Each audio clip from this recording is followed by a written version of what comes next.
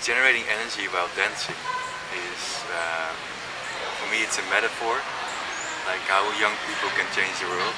If we can capture all that energy that young people have and all the passion that young people have, um, and mobilize their creativity, and their wisdom, and their energy, and their networks, then you'll see that real change will happen, and the real innovation will come from young people. And this is what I think is so important about this conference, is that what you see is there are many business leaders and the, from the establishment.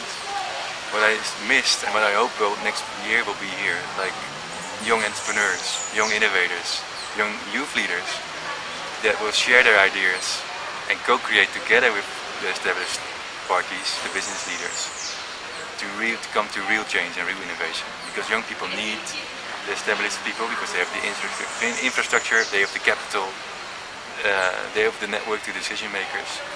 But the decision makers and establishment need young people for their ideas, for their new vision on the world, because it's their world within in 20 years. They will be the decision makers. So they let them decide now also. Um, I think that were my two minutes.